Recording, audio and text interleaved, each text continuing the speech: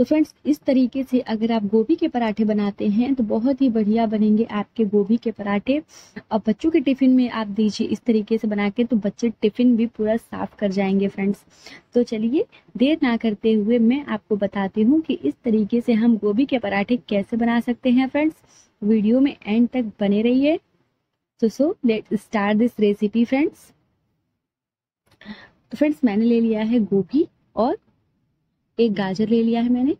गाजर को अच्छे से मैं छील लूँगी और इसे कद्दूकस कर लूँगी फ्रेंड्स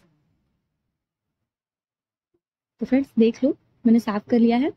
और गोभी को और गाजर को दोनों को ही हम कद्दूकस करेंगे। तो एक एक कली तोड़कर गोभी की और इस तरीके से हम कद्दूकस कर लेंगे फ्रेंड्स तो इन दोनों को मैंने कद्दूकस कर लिया है और मैंने ले लिया है एक कटोरी प्याज, बारीक कटा हुआ और हरी मिर्च। इसमें डाल रही मैं कुकिंग ऑयल और इसमें डालूँगी मैं हाफ़ टेबल स्पून जीरा और इसमें डाल रही हूँ हरी मिर्च। इन सबको हम भुनेंगी अच्छी तरीके से और इसमें डालूँगी अब मैं बारीक कटी हुई प्याज। एक बड़ा साइज़ का प्याज मैंने काट रखा था फ्रेंड्स इसे अच्छे से हम कलर चेंज होने तक भुनेंगे। तो फ्रेंड्स इसी स्टेज पे अब मैं डाल रही हूँ गाजर, जो मैंने कद्दूकस कर रखा था। तो देख लीजिए फ्रेंड्स अच्छे तरीके से हमें चला लेना है। फ्रेंड्स इस तरीके से अगर बनाएँगे गोभी के पराठे, गाजर और गोभी दोनों मिक्स करके बहुत ही अच्छा बनेगा। तो फ्रेंड्स इसी स्टेज पे मैं डाल रही हूँ, कद्दूकस किया हुआ गोभी। इसे अच्छे तरीके से हमें चला लेना है। फ्रेंड्स अब मैं डालूँगी इसमें मसाले। तो इसमें डाल रही हूँ मैं अब हाफ़ टेबल स्पून नमक। स्वाद के अनुसार नमक डाल लेंगे और हाफ़ टेबल स्पून हल्दी पाउडर हाफ़ टेबल स्पून इसे मिर्च। इन सबको अच्छे से चला लेंगे फ्रेंड्स। तो आप खुद देख लो फ्रेंड्स, इस तरीके से हमारा तैयार हो चुका है। अब मैं डाल रही हूँ हाफ़ टेबल स्पून गरम मसाला। अभी हमारा बिल्कुल तैयार हो चुका है। इसमें ऊपर से डाल देंगे धनिया के पत्ते। अभी हमारा स्टफिंग बिल्कुल अंदर से तैयार है। तो चलिए फ्रेंड्स गैस का फ्लेम मैंने ऑफ़ कर दिया है, इसे मैं निकाल लेती हूँ बाउल में।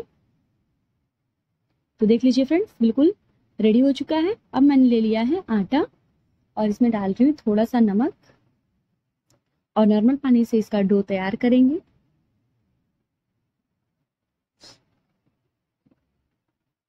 तो इस तरीके से हम डो तैयार कर लेंगे फ्रेंड्स थोड़ा थोड़ा पानी ऐड करके अच्छे तरीके से ना ही ज़्यादा गीला और ना ही ज़्यादा टाइट नॉर्मल डो तैयार करेंगे फ्रेंड्स तो देख लीजिए, हमारा बिल्कुल डो तैयार हो चुका है।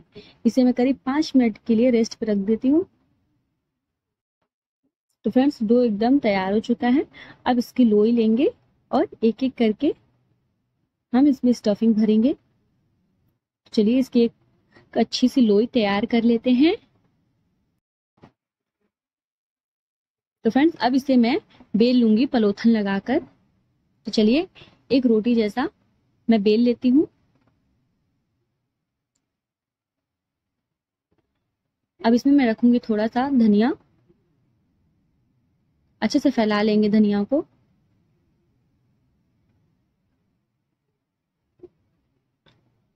तो फ्रेंड्स, अभी इतना मैंने बेल लिया है। अब इस पर अच्छे से स्टफिंग को रखेंगे। बहुत ज़्यादा पतला नहीं बेलना है, बिल्कुल नॉर्मल बेलना है। तो अभी स्टफिंग को रख लेते हैं फ्रेंड्स।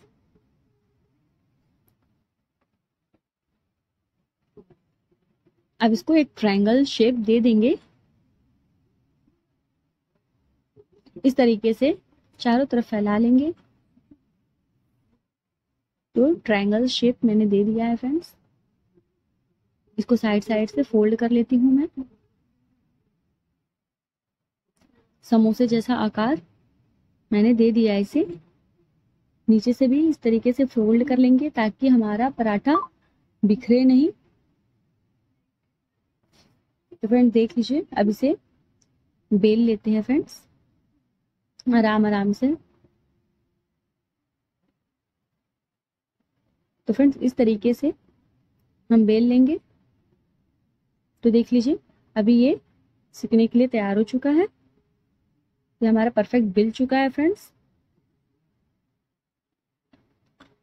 तो अभी मैंने बैठा दिया तवा। तवा गर्म हो चुका है। इसमें डालती हूँ पराठे। इस अच्छे तरीके से सेकेंगे फ्रेंड्स जैसे नॉर्मली हम पराठे सेकते हैं, वैसे ही सेकेंगे। तो चारों तरफ़ ऑयल मैंने ग्रीस कर लिया है। इस तरीके से पका देंगे। तो फ्रेंड देख लीजिए, एक पराठा बिल्कुल तैयार हो चुका है। इसमें निकाल लेती हूँ प्लेट में। इस तरीके से मैं और भी पराठे तैयार कर लूँगी। फ्रेंड इस तरीके से अगर आप बच्चों को भी खिलाएँगे तो बच्चों को भी बहुत पसंद आएगा और हेल्दी भी है, आटे का है और गोभी, गाजर फ्रूट्स है, इसमें वेजिटेबल्स है तो बहुत ही ज़्यादा बढ़िया है। खाने में भी बहुत ज़्यादा अच्छा है फ्रेंड्स तो फ्रेंड्स इस तरीके से अपने बच्चों को दीजिए टिफ़िन में और बच्चे बहुत ही पसंद से खाएँगे। एक बार आप इस तरीके से बनाकर देखिए पराठे, बहुत ही अच्छे लगने वाले हैं आपको।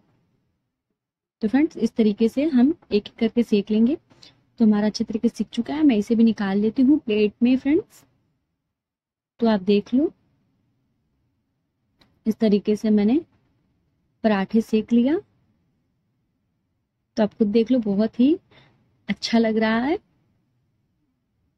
इसे अब आप चटनी से खाइए या सॉस से खाइए या किसी के भी साथ खाइए।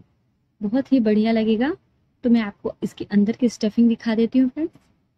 देख लो है ना, बहुत मज़ेदार। तो फ्रेंड्स अगर इस तरीके से बनाते हैं तो बहुत ही बढ़िया बनेगा फ्रेंड्स अगर आपको मेरी ये रेसिपी अच्छी लगी हो फ्रेंड्स तो प्लीज़ मेरे वीडियो को एक लाइक कीजिए और नए हैं तो प्लीज़ आप चैनल को सब्सक्राइब कीजिए। Thank you